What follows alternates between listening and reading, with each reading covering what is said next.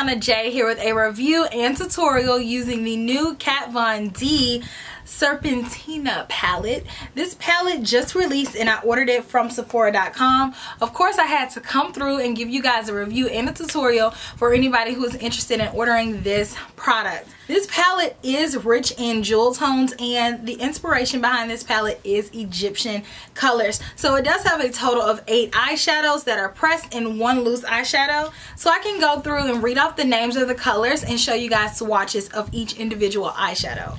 The first eyeshadow is called Blood Milk. This is a matte brick red. The second eyeshadow is called Medusa, which is a bronze shimmer. The third eyeshadow is called Ankh, which is a matte black with gold glitter.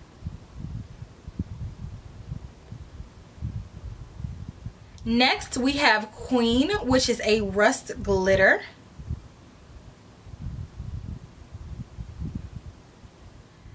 Next, we have Hieroglyph, which is a copper shimmer.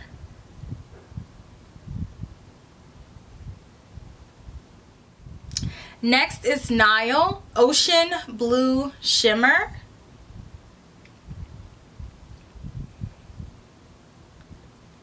Next is Scarab, which is an emerald shimmer.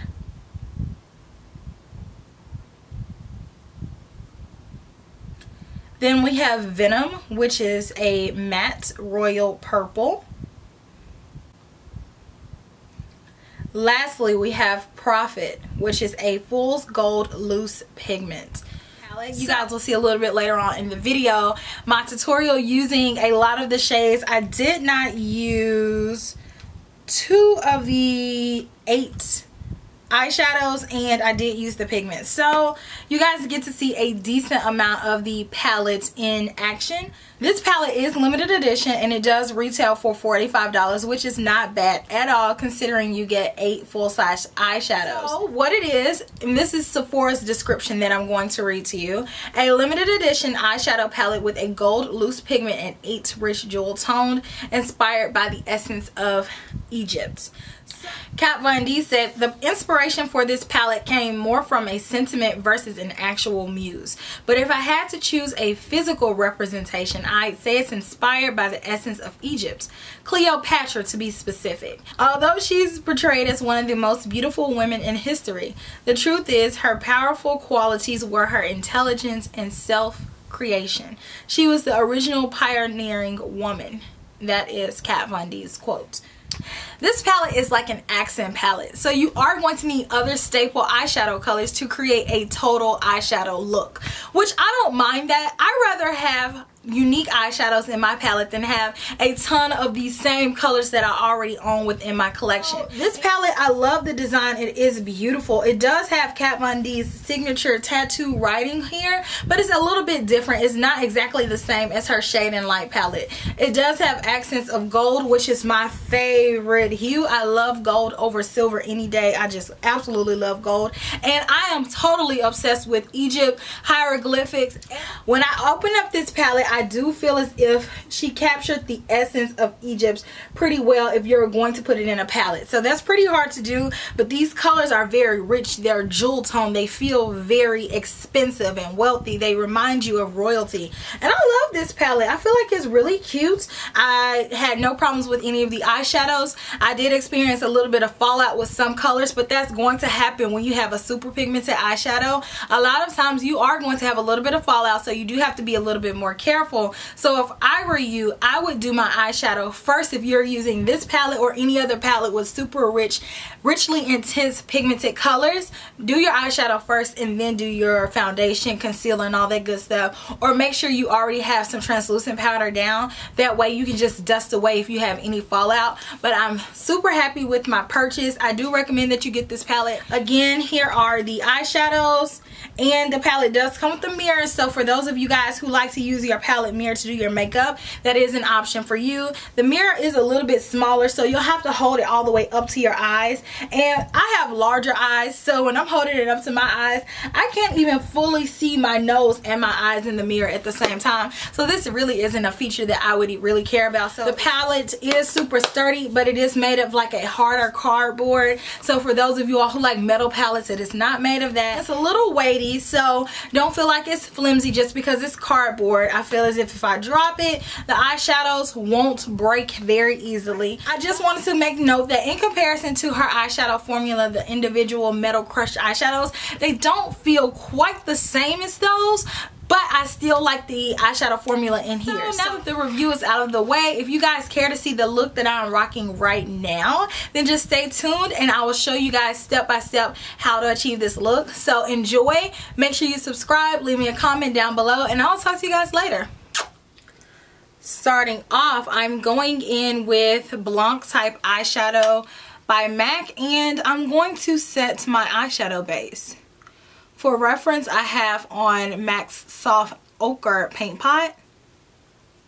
Next, I'm going to add a transition color, and this is Bobbi Brown's Toast. And I have my fluffy brush. This is MAC's 224 blending brush. And I'm going to apply this right in my crease. Back and forth this is going to help blend out any color that I put in my crease directly. So I go a little bit above my crease. Anytime you see any girl's eyeshadow that just looks super blended and beautiful, chances are she used a transition color. And sometimes the transition color will be apparent and sometimes it won't. This one probably won't. It'll just help us blend a little bit better. This is a very light color but you still want to make sure that it's blended properly. So if you have to spend a little bit extra time going back and forth just to make sure that you don't see any sharp lines, then do that. Like I'm starting off with Blood Milk, which is this reddish color. And I'm using the same 224 brush and I'm applying that directly in my crease. So right where the, the transition color ends right in my crease, that's where I'm applying this color back and forth. So be careful with this one because you don't want it to get everywhere. Make sure you tap off the excess so you don't get fallout.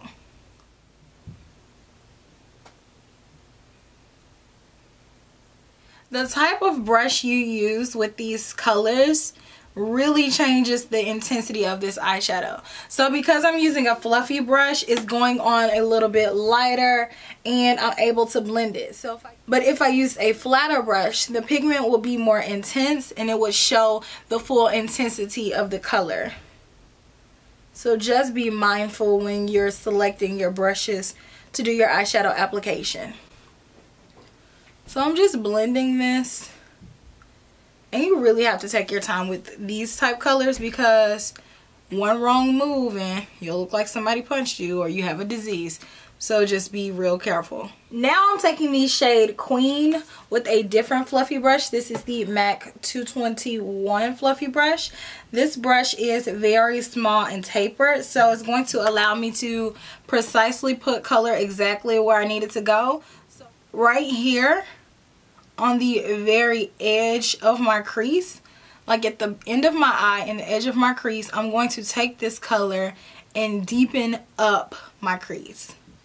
So as you can see I have my first transition color then I have my second transition color and then I'm going to take this color right here and just begin to blend it down. So if a little bit gets on my eyelid that's okay. Did y'all see my eye twitch? Because it's really irritating me so what this does is it gives it a little bit more definition. So you'll see in this eye is a little bit darker than this one. So I don't want a lot of this color, just a tiny bit. And I'm not bothering with the bottom yet. I'm going to do my concealer and then do the bottom. So I'm just focusing all of my efforts on the top. And then if you see where a little bit is patchy anywhere, you can go in with a little bit of product on the belly of the brush and actually pat to build intensity since we don't really want to swirl it because we don't want this eyeshadow everywhere. We don't want to diffuse it like we did the first two eyeshadows. We want it in a more concentrated place on the eye. So next, I'm taking the color Hieroglyph, which is this really pretty orangey bronze color. I actually am going to take some Too Faced glitter glue. I actually want to apply this to get a little bit more of the pigment to show from the eyeshadows and also to really intensify them. So I'm applying that only on my lid. Make sure you don't take it past your lid space. So you, when you do this, you want to do one eye at a time and work quickly. I'm going to take the color Hieroglyph with a synthetic flat shader brush and I'm going to press the eyeshadow on my lid. So I'm just tapping this eyeshadow on my eyelid.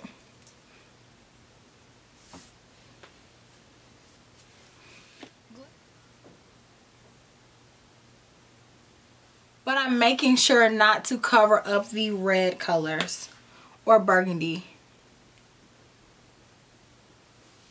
So if you want to go back with a little bit more queen, then do that with the same brush that we did before.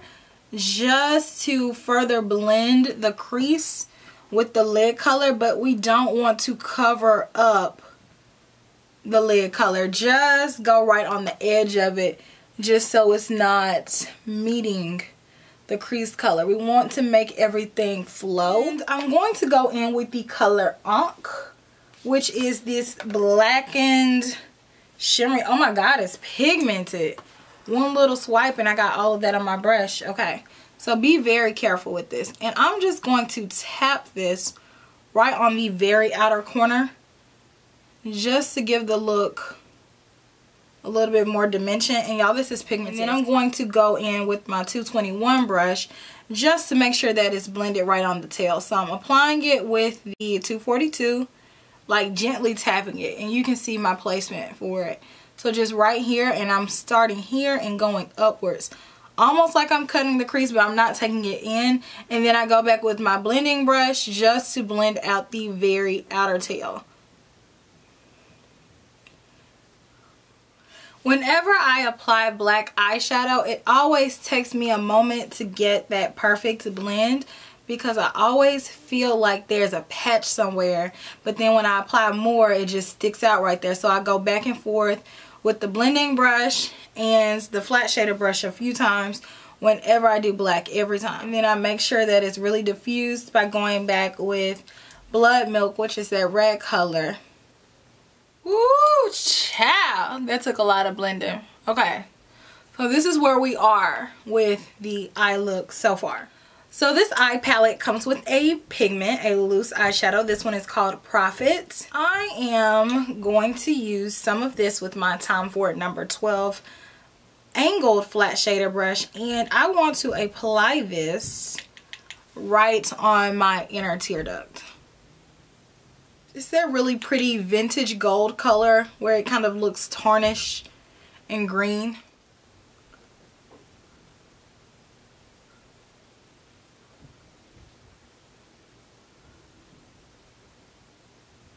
So I just picked this up. This is the Too Faced Born This Way Concealer. And I have to clean up my under eye. First time using this concealer. I'm using concealer up underneath my eye to really correct any areas where I had fallout. I'm going to set with my Laura Mercier translucent powder in my beauty blender but because I still am going to do a little bit more dramatic eyeshadow on the bottom I'm not going to set all the way up to my bottom lash line. Now I look crazy. Let's move on with our eyeshadow. So going back with the pigment in the same brush that we used to apply the pigment on the top, I am just going to wrap it around and continue with that color on the bottom. So it'll be a very highlighted inner tear duct. So wrapping it and then bringing it over. And because I am a blue lover, I have to use this color right here. This one is called Nile. I don't know what those kids are outside doing. I really like this brush because it's angled and you can get a really precise application. And I'm going to pat this right along the rest of my bottom lash line. Make sure you connect it to the top. You can go over it like the very edge of it with a blending brush just to soften it or you can leave it personal preference toast very lightly with a 217 brush and just go on the very edge of it just to soften that line The last eyeshadow that I'm going to use for this look is MAC's Ricepaper. And I'm taking that with a 213 brush. And I just want to fluff this underneath my brow bone just to give a little bit of lightness. Love Ricepaper so much. You guys haven't seen my favorite MAC eyeshadows. You should go watch that. I recorded it a few months ago. I'll link it down below. This is like one of my favorite eyeshadow combinations ever. So now I want to do a little bit of eyeliner. Nothing too crazy. So let's cross our fingers and pray. I just want to do like just a little. I don't even want a wing. Like how crazy is that? You see the difference? I mean, you can leave it like that, but I prefer a little bit of eyeliner just to give my eyes more definition. On the waterline, I'm taking some black. Let's do some mascara. So while we wait on our lash glue to dry, I've zoomed us out so we can finish the rest of our face. I'm taking some of the mineralized skin finish and dusting away the powder that I allowed to bake underneath my eye for contour, I'm taking my Old Faithfuls. I'm mixing Sculpt and Shadester together to get that perfect sculpted look. Y'all, if y'all have never tried these MAC powders, woo, you are really missing out, honey. For my highlight, I'm using the Cover FX Custom Enhancer Drops in Candlelight. And I'm going to tap this on the high planes of my cheeks. So I'm going to go in with the Anastasia Glow Kit. I'm going in with Summer. Yes, this is what I was looking for right here. This is what you came for. You, ooh, ooh, ooh, ooh, ooh. So now I'm going to mix a few of these blushes. This one is Format, but this is what I want the main color on my cheek to be. Alright, so let's finish off this look. I'm wiping off my lip balm. I need a little bit of brow gel just to get these brows in formation let's do some lips. So I'm using Spice Lip Liner by MAC.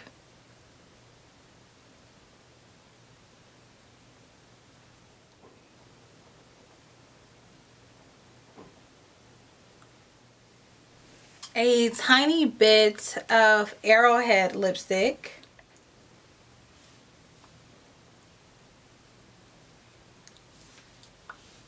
A little bit of Spoiled Fabulous Frost lipstick.